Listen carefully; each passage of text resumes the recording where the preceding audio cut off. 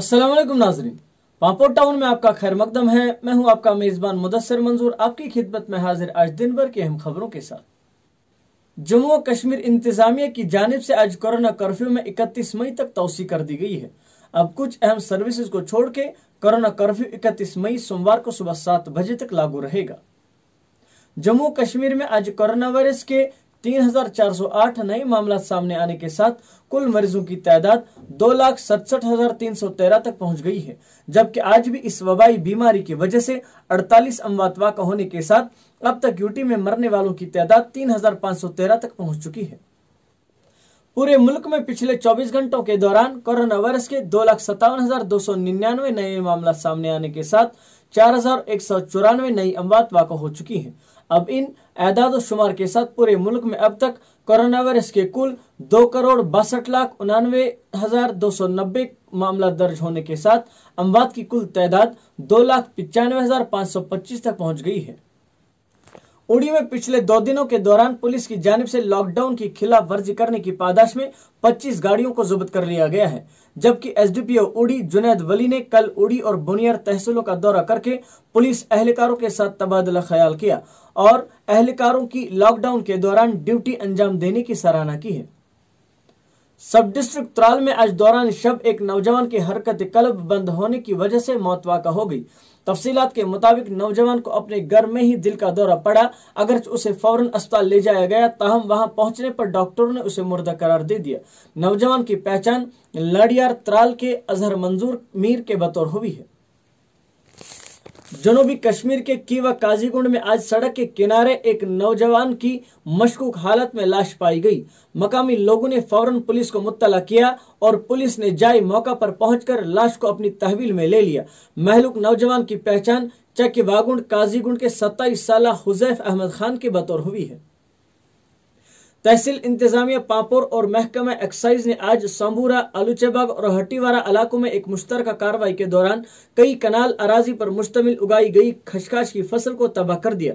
तहसीलदार पापोर इश्तियाक महिद्दीन का कहना था कि अब हर फर्द के खिलाफ कार्रवाई होगी और हम इस इलाके से इस वबा को ख़त्म करने तक काम करते रहेंगे। देखिए, हर साल की तरह इस साल भी हमने पॉपी की डिस्ट्रक्शन के लिए एक ड्राइव चलाई है और जहाँ जहाँ पे भी लोगों ने पॉपी कल्टीवेट की थी हमें इन्फॉर्मेशन मिली थी कि आलूची बाग हटीवारा और सांबोरा इलाके में वहाँ पे बहुत सारे लोगों ने इसको कल्टीवेट किया था और आज हमने एक्साइज डिपार्टमेंट के साथ मिल एक जॉइंट ड्राइव चलाई। मजबूरन हमें कोविड टाइम्स में वो ड्राइव हमें चलानी पड़ी। तो लेकिन आ, मैं आपको साथ साथ ये भी बता दूँ कि इस साल बड़ी हारिश कार्रवाई होने वाली है क्लियर डायरेक्शन से गवर्नमेंट की कि जहाँ जहाँ पे भी पॉपी कल्टिवेट होती है वहाँ पे एनडीपीएस एक्ट के तहत एफ़ आई लॉन्च किया जाए। एन एक्ट में 10 से 15 साल तक की जेल भी हो सकती है। हालाँकि बहुत सारे घर जब हम जाते हैं ड्राइव के लिए तो बहुत सारे घर ऐसे भी कहते हैं कि हमने डोमेस्टिक यूज़ के लिए घरेलू यूज़ के लिए उसको उगाया है। लेकिन आ, बाद में जो उसकी पॉपी स्ट्रा जो होता है या पॉपी का जो वो कप होता है उसको ये लोग यहीं छोड़ जाते हैं उसको लोग उठा के ले जाते हैं ख़रीद के ले जाते हैं। और उससे मॉर्फिन साइकोट्रॉपिक सबस्टेंस एक बहुत ही डेंजरस सबस्टेंस बनता है। साथ में लोकल पार्लेंस में हम जिसे फुकी कहते हैं और उसको मशीनों में उसको पिसा जाता है और उसके बाद उसकी फुकी तैयार की जाती है, जो कि बहुत ही ज़्यादा खतरनाक साइकोट्रॉपिक सबस्टेंस है। तो इसीलिए हम कहीं पर रिस्क नहीं ले सकते। पॉपी कल्टीवेशन को अलाउड बिल्कुल भी नहीं किया जा सकता। और जहाँ जहाँ पे भी होगी, हमने क्लियर एविडेंस आज कलेक्ट की है। और सबके खिलाफ कार्रवाई होगी, जो रिपीटेड ऑफेंडर्स हैं, जो बार बार इसको कर रहे हैं, उनके खिलाफ तो इस साल ज़रूर एन एक्ट के तहत कार्रवाई होगी। डिप्टी कमिश्नर पुलवामा ने आज एक प्रेस कॉन्फ्रेंस के दौरान मीडिया के नुमाइंदों के साथ बात करते हुए जिला पुलवामा में कोरोना वायरस की मौजूदा सूरत हाल से मुतलिक अहम जानकारी फराहम की। उन्होंने कहा कि एलजी के हुक्मनामे के मुताबिक अब हर कोरोना वायरस में मुबतला मरीज़ को घर में ही एक कोविड किट फराहम किया जाएगा। तीसरी प्रेस कॉन्फ्रेंस है। तो जिसमें, जिसका मेन मकसद मैं पहले भी बता चुका हूँ कि किस तरीके से कोविड मैनेजमेंट में या कोविड मिटिगेशन को लेके किस तरीके से मेजर्स जो हैं, वो डिस्ट्रिक्ट एडमिनिस्ट्रेशन में जो हैं, वो लिए गए हैं और डिस्ट्रिक्ट एडमिनिस्ट्रेशन किस तरीके से अपने आप को तैयार कर रही है कि ऑनरेबल एलजी साहब के डायरेक्शन पे कि किस तरीके से तैयार करना सो दैट के कोविड को हम जो है वो अच्छे से मैनेज कर पाएँ। तो इसमें दो तीन चीज़ें जो हैं वो बड़ी इंपॉर्टेंट हैं, जो नई हैं और जो इम्प्रूवमेंट हुई है पिछले पंद्रह दिनों के अंदर, वो मैं आपको हाईलाइट करना चाहता हूँ। उसमें सबसे बड़ी चीज़ ये है कि जो अभी तक हमारे पास जो आंकड़े हैं, उसमें ये हैं कि 2700 के करीब अभी हमारे पास केसेस हैं, जो पॉजिटिव केसेस हैं। एक तो उनको ये है कि जिसमें उन सबको जो है कोविड किट जो ऑनरेबल एलजी साहब की डायरेक्शन है, वो कोविड किट जो है उनको पहुँचाई जा रही है, नंबर वन ये। उस कोविड किट में जो है अभी तक हमने जो है वो 1200 किट जो है वो डिस्ट्रीब्यूट कर दी हैं और रिमेनिंग जो 1200 हैं, वो within two three days जो है वो हम डिस्ट्रीब्यूट कर देंगे। दूसरी चीज़ ये है कि ऑनरेबल एलजी साहब की जो डायरेक्शन है, उसमें क्लियर कट ये है कि पंचायती सतह के ऊपर किस तरीके से कोविड केयर की फैसिलिटीज़ जो हैं वो बनाई जाए। तो उसमें हमारे पास 190 पंचायतें जो हैं आज की डेट में हैं। तो फाइव बेड जो है वो फुली एक्विप्ड एक्विप्ड करना है, जिसको कोविड के हिसाब से करना है, जिसमें ऑक्सीमीटर भी होगा, जिसमें पल्स ऑक्सीमीटर भी होगा हमारा, और ऑक्सीजन कंसनट्रेटर भी वहाँ पे होगा। लॉकडाउन जो है वो अभी मंडे तक तो एक्सटेंडेड है, उसके बाद फर्दर क्या डायरेक्शंस होंगी, उसके ऊपर जो है वो आपको अलग से सेपरेटली ब्रीफ किया जाए। नाजमी ज़रात कश्मीर, मोहम्मद इकबाल चौधरी ने आज ऑर्गेनिक एग्रीकल्चर विलेज पत्तलबा का दौरा किया। उन्होंने दौरे के दौरान कहा कि वो किसानों को मटर की सब्ज़ी फरोख्त करने के लिए मार्केटिंग के साथ साथ दूसरी सहूलियात फराहम करने की हर मुमकिन कोशिश करेंगे। जबकि मकामी काश्तकारों ने नाजमी ज़रात का शुक्रिया अदा करते हुए कहा कि उनकी तरफ़ से हमें हमेशा ताउन हासिल है, जिससे आए रोज इस कारोबार में बेहतरी आ रही है।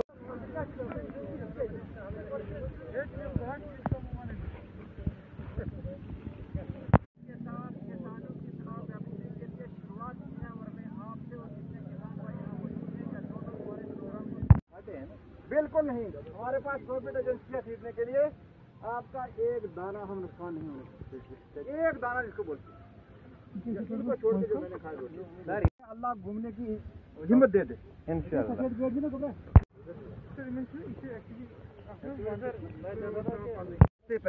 किसी को देखें कि मास्क नहीं पहनी है उसको बड़े प्यार हिसाब से समझाएँ कि मास्क पहनो इसका ये फ़ायदा है सैनिटाइजर लगाओ इसका ये फ़ायदा है हाथ बार बार दो इसका ये कि जो भी गाइडलाइंस गवर्नमेंट ने कोविड को रोकने की काम के लिए, चाहे उसमें मास्क का पहनना हो सैनिटाइजर का इस्तेमाल करना हो, या बार बार हाथ धोने हो साबुन के साथ, इन तमाम चीज़ों को का फॉलो जो है, वो करना हमारा अवरीन फ़र्ज़ बनता है। मैं आपको आज यहाँ पुलवामा के इस पतली बाग से ये मैसेज देना चाहता हूँ।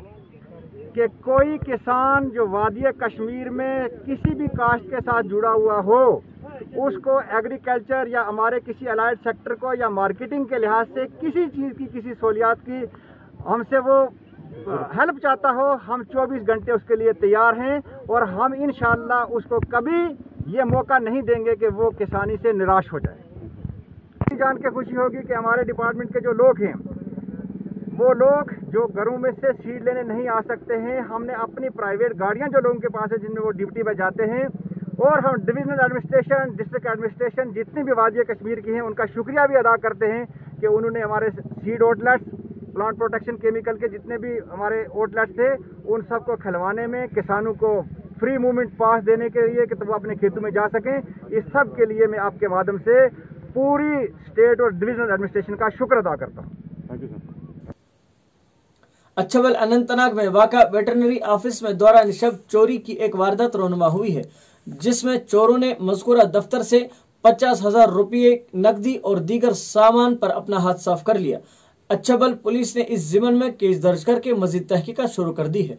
ये थी आज दिन भर की अहम खबरें। मिलते हैं कल फिर नए खबरों के साथ।